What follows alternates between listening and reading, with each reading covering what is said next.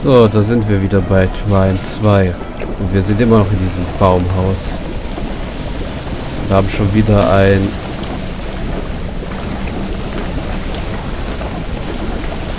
Eine komische Sache hier.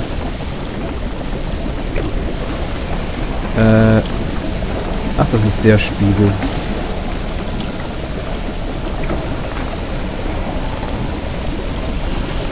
Den können wir nach da hinten bewegen.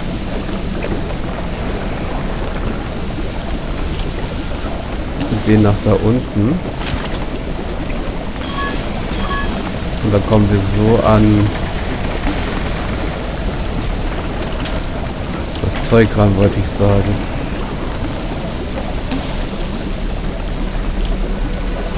Den können wir, glaube ich, auch anders verschieben. Ja, den können wir so verschieben, dass die Blasen geschützt sind, aber das will ich jetzt erstmal nicht. Denn ich will noch die eine Erfahrung da hinten ran.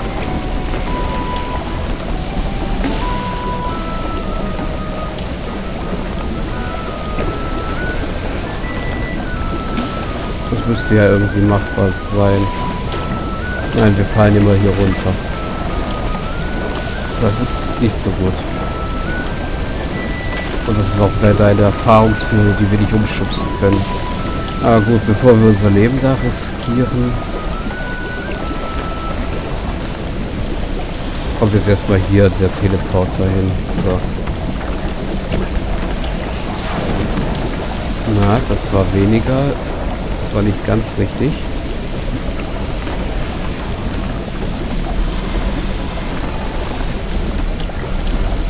So, das war jetzt richtig.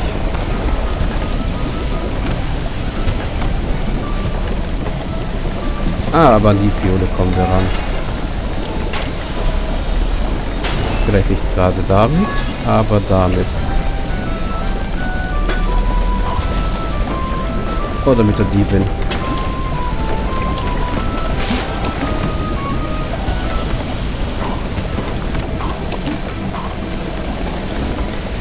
Da ist die Blase unter mir geplatzt. Aber ja, das Hexenhaus ist ziemlich groß. Oder das Baumhaus.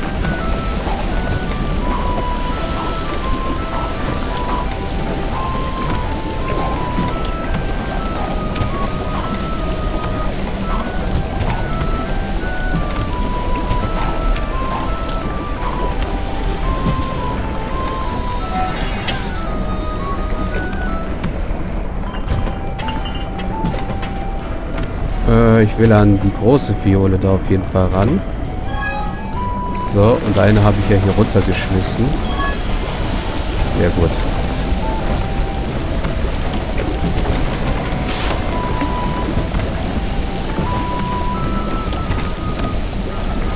Jetzt muss ich erstmal gucken, dass ich wieder da oben rankomme. An die Fiole. Die kann ich, das kann ich zerschießen. Die Fiole kann ich mir jetzt so endlich holen, wie ich es geplant hatte. Und ich denke, die Fiole da oben kriege ich auch auf die Weise. So. Genau. Eine im Kessel, die andere da drin und nicht am Feuer verbrennen. Ja.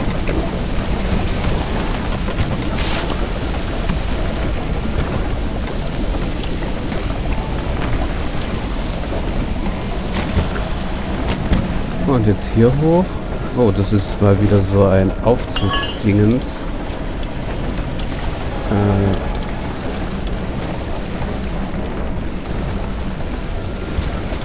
Na komm, wir haben hier Gewicht. Äh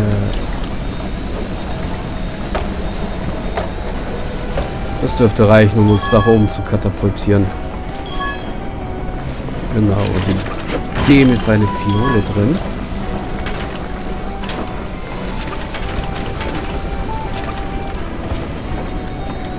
So. Das benutzen wir als Gewicht für hier drüben.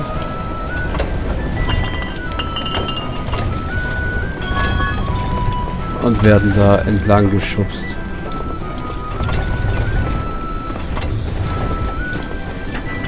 Der Hebel wird wahrscheinlich da unten to das Tor aufmachen. Macht er auch. Sehr schön.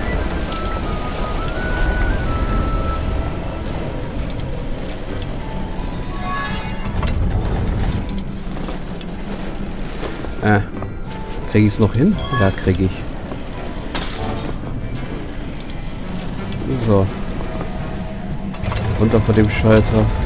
Und weiter abwärts.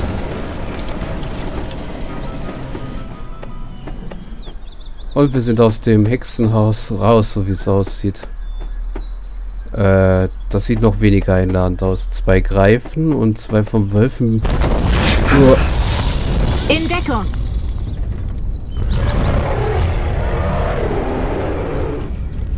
Wer auch immer in dem Haus lebte, es hing eine finstere, bedrohliche Stimmung in der Luft, wie Klammernebel im Sumpfland. Die heldenhaften drei schafften es durch die Fallen und Schrecken des seltsamen Baumhauses. Nur um von der schrecklichsten aller Kreaturen aufgehalten zu werden, einem Drachen. Ja, Draconis begrüßt uns. Dass im, dass im Twine ein Drache vorkommt?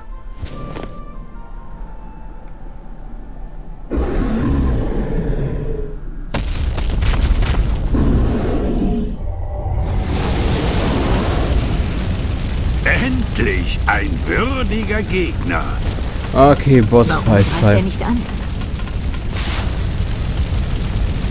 Das frage ich mich jetzt auch gerade. Er hat die Grube in Flammen gesteckt. Äh,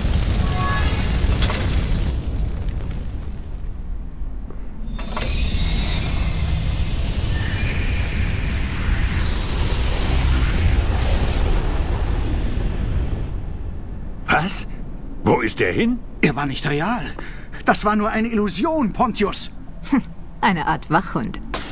Er sah erschreckend echt aus. Ich hoffe, wir treffen nicht auf das Original. Super, ein falscher Drache. Und ja, damit sind wir im nächsten Level. Tolle Begrüßung zu Beginn. Tür aufmachen. Und hier sieht es wieder ziemlich schön aus mit den Lichteffekten und allem. Auch wenn wir immer noch ziemlich weit in dem Hexenhaus zu sein scheinen. Da können wir uns nicht dran festhangeln. Nein. Runterschießen können wir es auch nicht.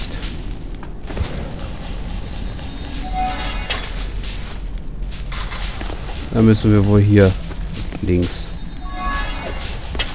Aber zum Glück haben wir Brücken und Kisten.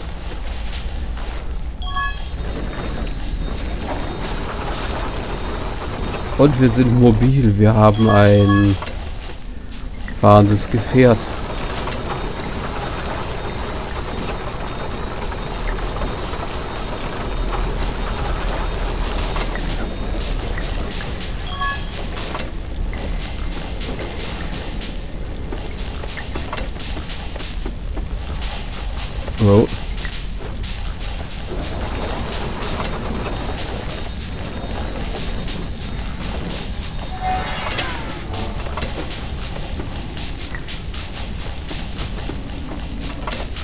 Also irgendwas ist hier falsch.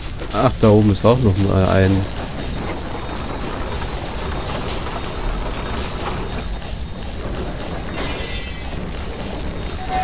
Ein Schalter, hä?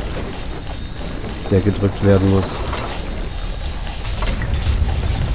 Genau, Dankeschön. Und ich finde es auch lustig, dass die Checkpoints hier immer wieder mal anders aussehen können. Äh, ja, ist klar.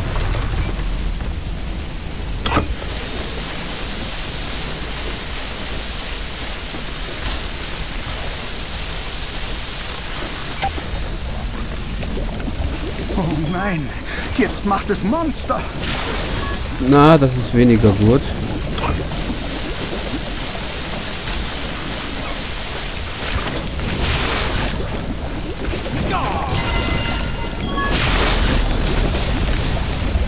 Äh, nein. Nein, nein.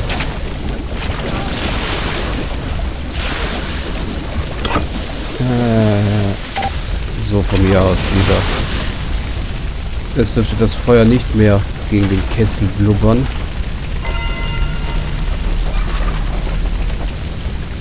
Und das ist ja meine gemeine Ecke.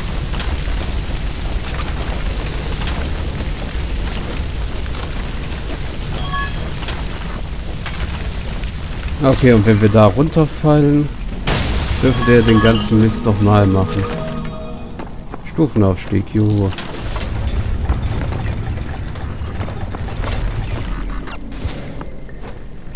Oh ja, da hoch würde ich gerne kommen. Ah, Zerg.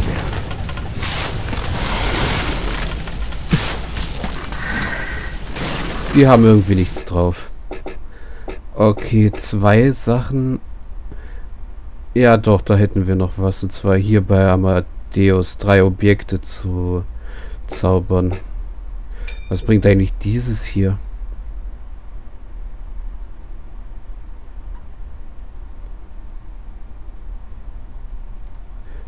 Oh, die Metallmagnetisierung klingt gar nicht mal so schlecht. Was ist der Monsterkerker?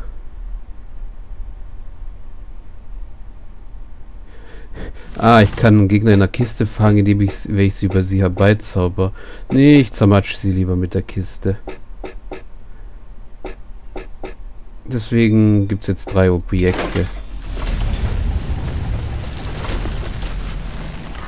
Das ist wenigstens ein nützliches Upgrade. Und die Kiste können wir für was verwenden.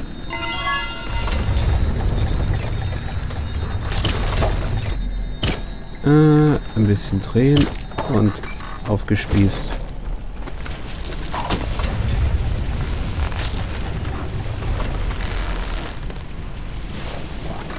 Hopp, hopp, hopp. Und damit mache ich wahrscheinlich das Tor unten auf, oder? Ja, das wollte ich aber eigentlich noch nicht. Ich will da oben hin. Hopp, hopp, hopp, hüpf.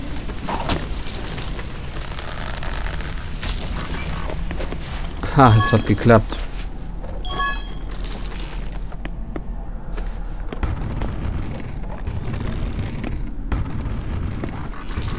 Und wenn ich die Kiste schiebe, klingt das, als ob der Hulk unterwegs wäre.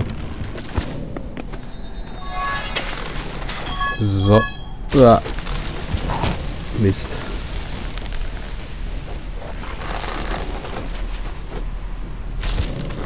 Ja. Komm ich wieder hoch. So.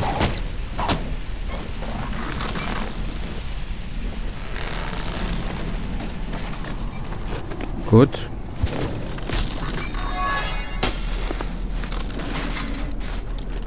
Und das hier möchte ich gerne einsammeln. Dankeschön. Ach nee, nicht schon wieder so eins.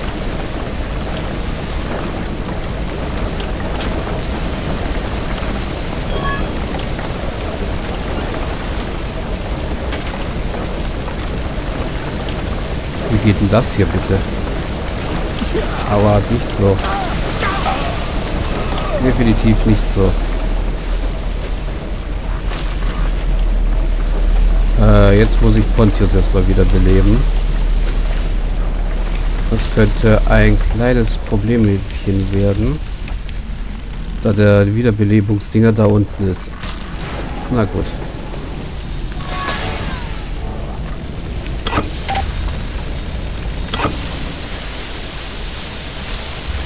So. Tricksen wir das Ganze mal aus.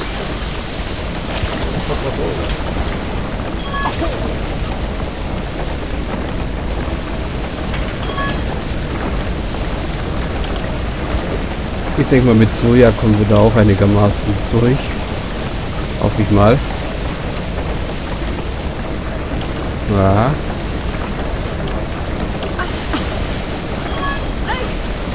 Ja, sind wir einigermaßen. Das bloß nicht von der anderen Flamme verbrennen lassen. Was macht der Schalter bitte?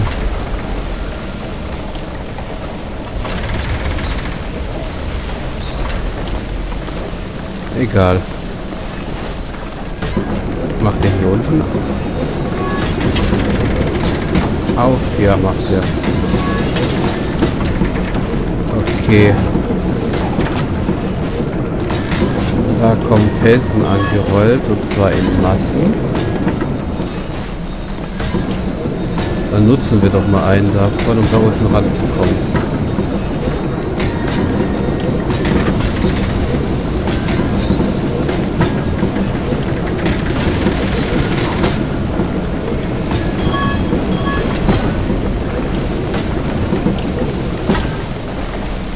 Und wir haben uns gerade eingesperrt.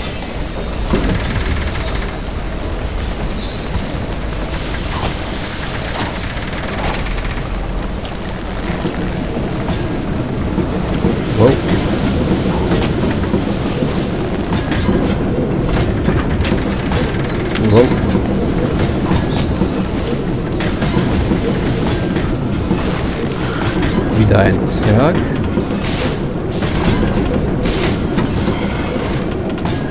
Toter Zerg. Oder wenigstens ein gefrorener Zerg. Komm, kriegst eine Kugel auf den Kopf. So. Zerg-Bowling.